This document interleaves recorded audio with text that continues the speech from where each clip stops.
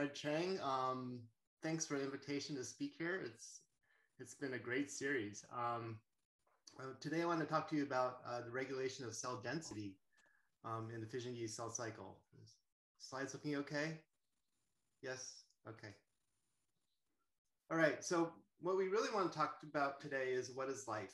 And I think um, a lot of textbook examples have been like from biochemistry 101 is that you, you have a protein that that whose uh, activities really uh, depend on the concentration of that protein. But all these studies are done basically in dilute solutions, so like tubulin in water.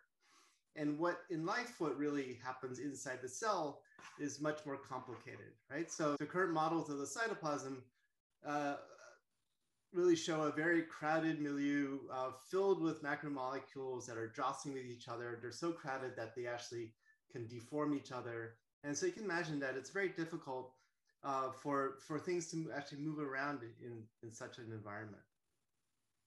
Um, and so my lab's been interested in um, studying this cytoplasm and how does it impact cellular, the cell biology uh, in, in real, in living cells. Um, so we're asking questions such as how does the crowded nature of the cytoplasm actually impact uh, cell biological processes and how is this density actually regulated? So there are many cases where um, the density um, might be changing.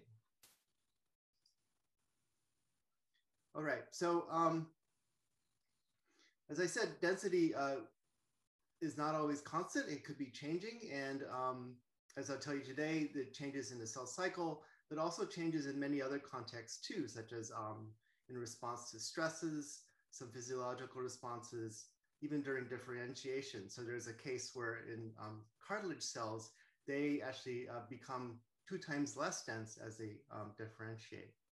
Now, these changes in density may affect uh, cellular physiology uh, globally. And so what I mean by that is when your density is changing, the concentration of all your cytoplasmic components are changing.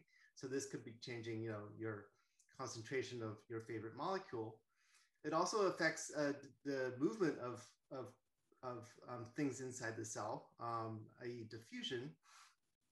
And um, the crowded nature of the cytoplasm with the macromolecules actually have uh, additional effects um, which have been termed colloid osmotic pressures, which um, exerts uh, effects such as excluded volume effects, which affect the effective concentration of, of proteins, as well as the mechanical effects on other molecules and on organelles, and also um, to, to promote a phase separation. Okay, so so we've set off to sort of um, understand these uh, properties of cytoplasm in a simple model organism, so S. pombe. This is something my lab has been working on uh, ever since I started my uh, postdoc, I guess. Um, and it's really a great tool for quantitative biology. As, as you can see, it looks a lot like an E. coli cell, but it's 100 times bigger. It's a eukaryote. Um, and as, as in budding yeast, it's very tractable. And um, what's really wonderful about it is that it's easy to measure its, its dimensions and um, it's highly reproducible. So the shapes and sizes and their cell cycles are all extremely um, reproducible. Okay, so so when I talk about density, what we really mean is uh, basically the mass over the volume of the cell. And so during the cell cycle, as the cells are growing, um, they need to double their mass and their volume um, before dividing. Okay, so today I'll be talking about mass growth, which is basically how much all the insides of the cells increase uh, as cells grow. So the cells are making more proteins, making more organelles, things like that.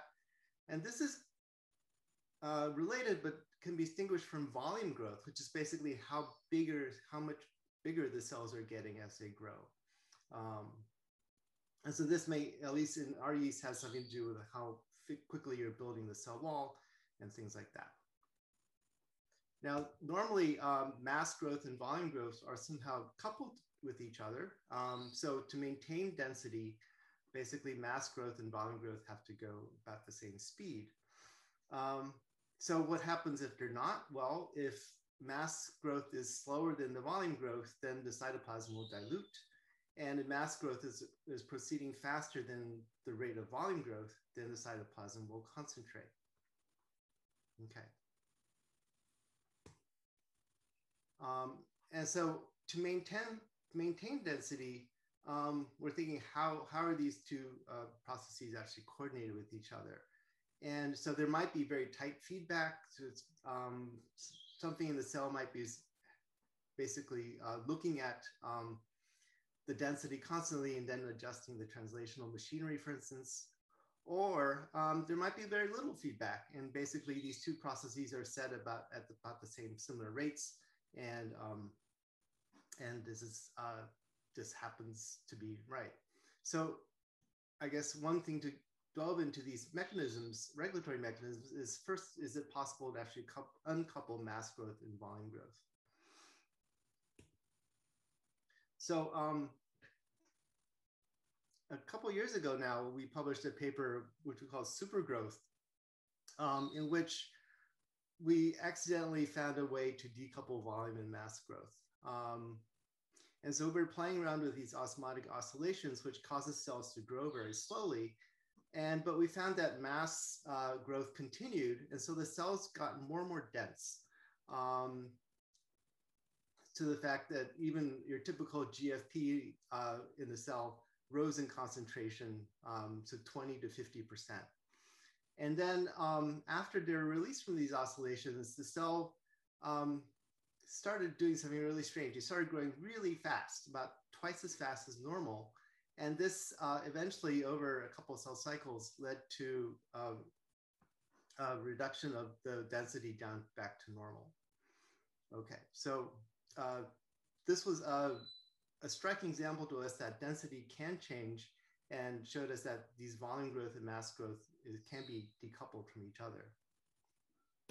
Okay, so um, we were pretty intrigued by these findings, but people kept on asking us, um, well, what does this have to do with the normal cell cycle? I mean, osmotic oscillations are a pretty unusual perturbation. And so um, I'll be telling you about a work from a very talented uh, postdoc, Pascal Odermatt. Um, and he worked with me as well as with KC Huang at Stanford and along with these other folks here, looking at the normal uh, regulation of cell density during the cell cycle. Okay, so um, what Pascal did was to first team up with an optical engineer and uh, devised a new way of measuring um, dry mass density using quantitative phase imaging. Now, there are many ways of doing quantitative phase imaging or QPI, um, but he, he found a way which was uh, pretty low tech, which is basically just to take a Z stack of bright field images like this, and then um, basically put it through the computer, which calculates phase shifts um, using this equation, um, and then calibrating these phase shifts uh, using uh, cells dunked into various concentrations of BSA. Um, and so what you get out of it then is a pixel by pixel image of, of dry mass density in this cell um, that um, that's pretty high resolution and you can see uh, various features inside the cell. So the average uh, density of um, Pombe at least is about 280 mgs per mil. So what's really great about this method is that we can now take movies of density um, in living cells, um, which is something that my lab loves to do. And so in this movie, uh, purple is less dense, orange is more dense. And I hope you can see that as the cells are dividing and growing, that um, there's different patterns of density going on that not all the cell have the exact same density. So I'll be, uh, in subsequent talk then, I'll be talking about various features of this movie.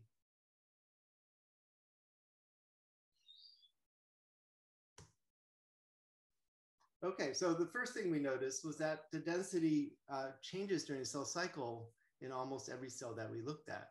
Um, and so I should remind you that in the cell cycle, um, Pombe cells are growing from the cell tips here, and um, they get longer and longer during G2 phase, and they stop growing during mitosis and cytokinesis. Um, so this is sort of seen in this kind of graph here, where they're steadily growing at an almost exponential rate here, and then they sort of level off during mitosis and cytokinesis. Now the density that we measure from this QPI shows a dip, uh, steady dip of um, density as the cells are growing, but then they start to rise here um, during mitosis and cytokinesis at the same point where the, the growth stops um, increasing in volume. And so if we can calculate the mass from this, what appears that the mass is continually increasing at an exponential clip throughout the cell cycle. Um, so what this says is that mass, the synthesis of mass here is not being regulated during cell cycle. It's continuous through the whole thing. But, uh, but the volume control is, um, there are regulatory programs that are telling the, the Pombe cells to grow or not in volume. Um, and therefore the density of is, is changing uh, because of this regulation. Um, okay.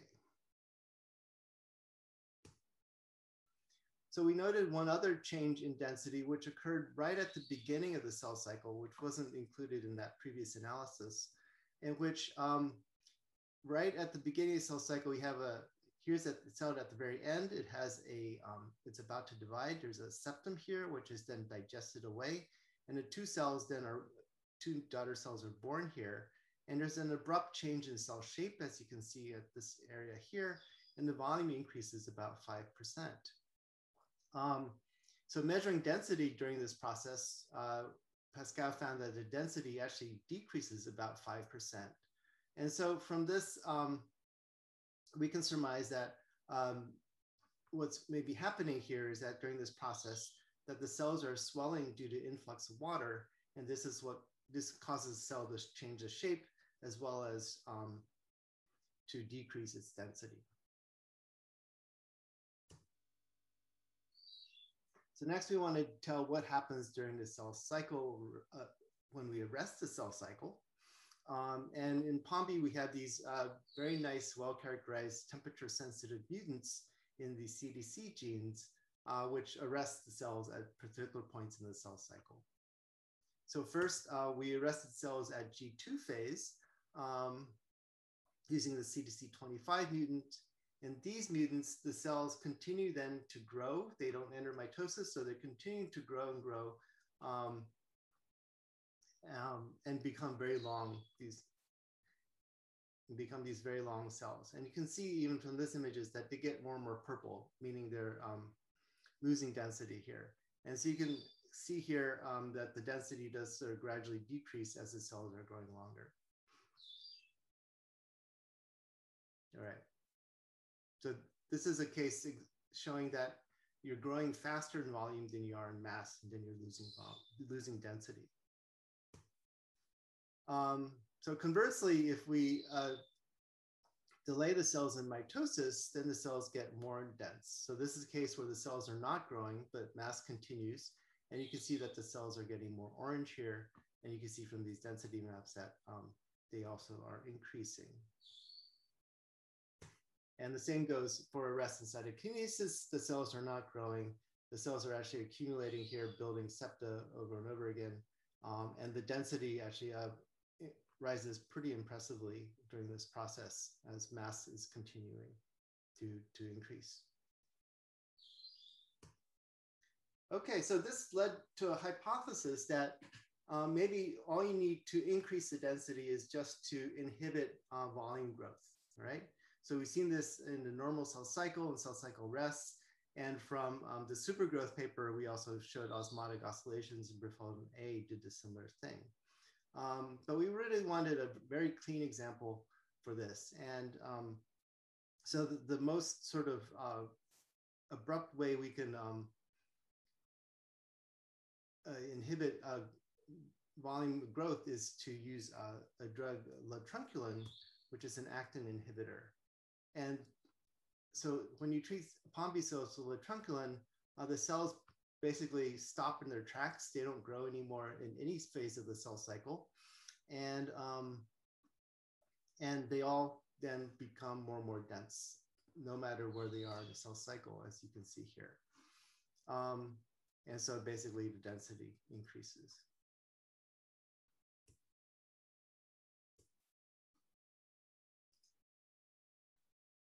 Okay, so a second feature of um, these density patterns was that um, we saw these intriguing spatial densities, gradients of densities. Um, so Pombe cells have what we call a new end and an old end of the cell. The new end was where it just divided, and the old end is where it used to be the end. And cells generally grow more at the old end than at the new end. And you can see that uh, there's a density of gradient, of, sorry, gradient of density here um, uh, in which the old end or the growing end is usually less dense than the new end. Um, and so there's a strong correlation with uh, the growing tip basically being less dense. Um, and that this asymmetry is perpetuated throughout uh, cell division and even passed down to the daughter cells. Okay, oh, I forgot to mention that we also see this uh, gradient not only using QPI, but also for staining uh, for total protein and RNA as well. So it's something uh, perhaps protein based, although we really don't know the basis for this gradient yet.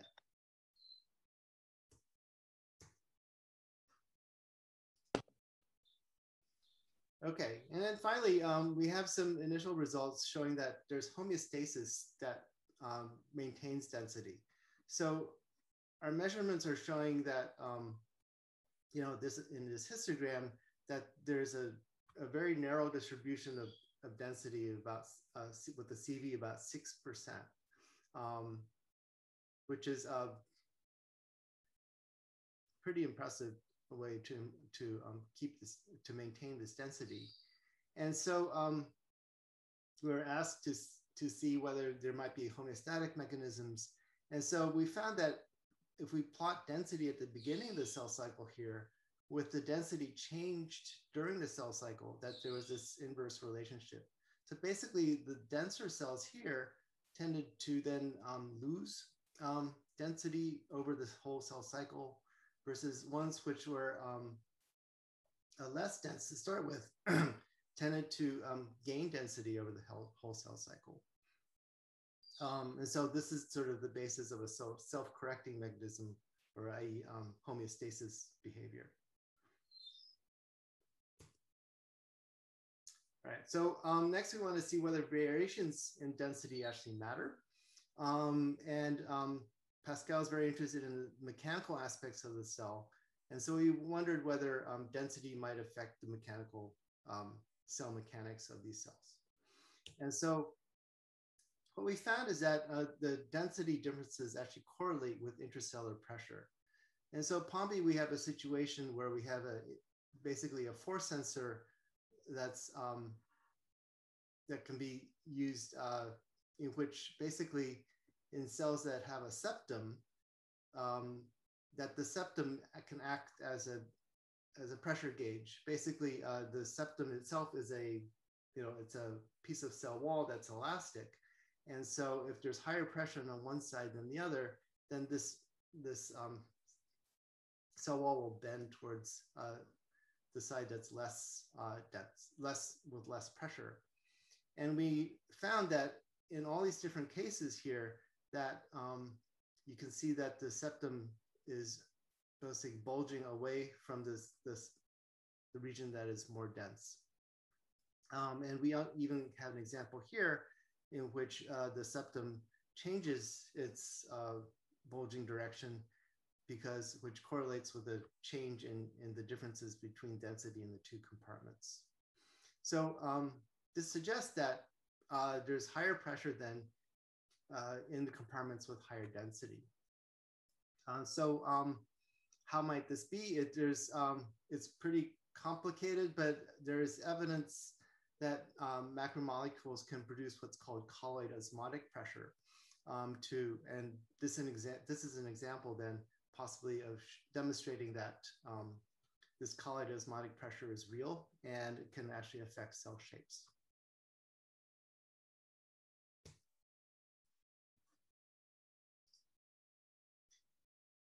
All right. So um, in summary, um, we've used a, a, new method of uh, quantitative phase imaging to measure dry mass density. Um, we notice these cell cycle changes in density, and we had to have a mechanism in which basically these changes in density come around by the cells basically uh, regulating their volume growth. Um, it's exacerbated in cell cycle rests, and so people use things like uh, are changing their rests, uh, changing using cell cycle rest to um, synchronize cell cycles. For instance, they could have um, um, unintended consequences on the density. Um, we see these spatial uh, gradients of density related to tip growth. And finally, we see this intriguing um, correlation of density with intracellular pressures.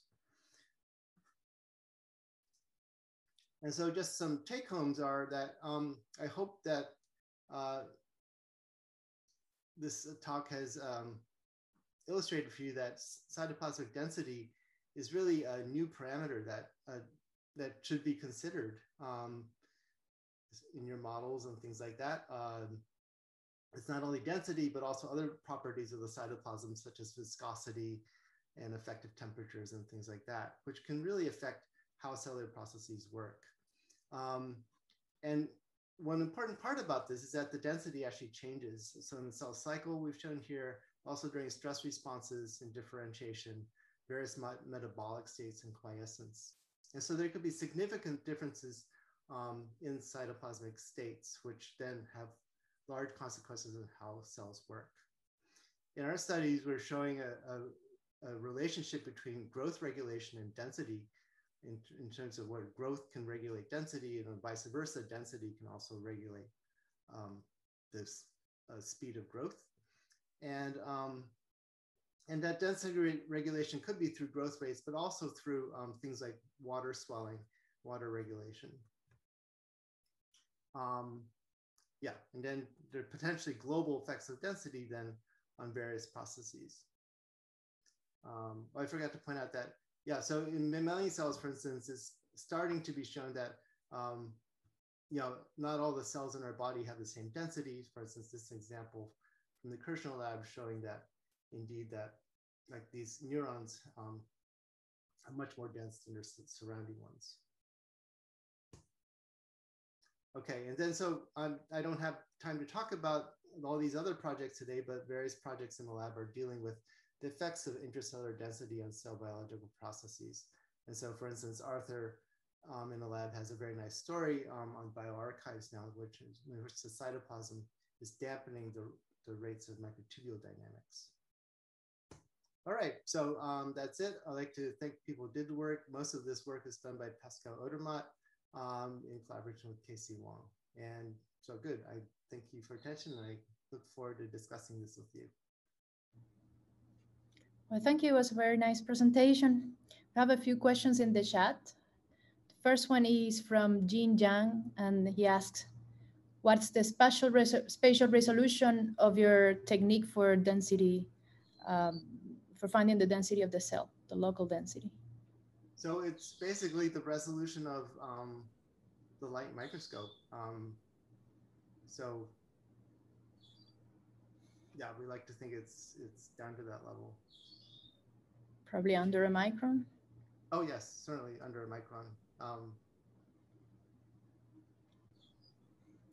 um, so Eric Dufresne asked if you have had the chance to look how overall density correlates to mobility or diffusion of specific proteins? We haven't gotten there yet. Um, we, we've actually been, been probing diffusion using um, these GEM particles, which are basically ribosomals in size, like 40 nanometers in diameter.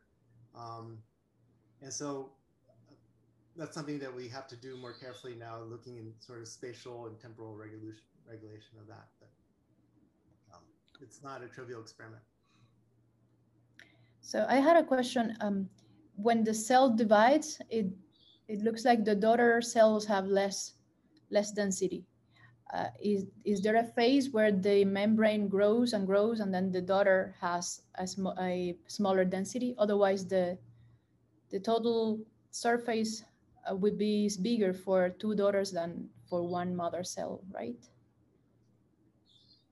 Um, as a cell, so when the cells divide, they and then they pop out, and so the surface area also increases a little bit when they do this. Is that? Yeah. So so the surface area increases. Uh, so it has to grow, right? It's yes.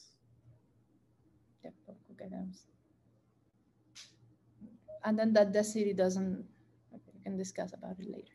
So uh, from Patrick McCall, he says the density increased to 400 milligram per milliliter upon arrest around mitosis is impressive. How long can the cells sustain these densities? How do they get sick? Do they get yeah, sick? So, okay. Um, good question. Uh, I mean, these cells ultimately, if they stay arrested, they'll they'll die. Um, but we haven't we haven't analyzed the sort of terminal effects of that density increases. Um, but that's certainly one reason why they could be dying. Um, they also start to swell and things like that, so, and then lyse. So from David Lubensky, are your changes in density mostly due to changes in cyt cytosolic density or to something like changes in the number of organelles with especially high density? Yeah, that's a great question. And um, that's sort of the next things we have to look at. We really don't know. Like, uh, so for instance, the spatial gradient of density, it could simply be that there are more organelles um, in one part of the cell than the other. Um, and so this is something that we have to look at further. Um, okay. And then is it possible to observe flows or coordinated motion inside the cells due to density, to the density gradient? And that was um, yeah. Again, we, we haven't seen using sort of microbiology things, we haven't seen any directed flows, but we haven't looked carefully enough. Um, I think the dogma is that in yeast that there are no flows, but um, we'll see.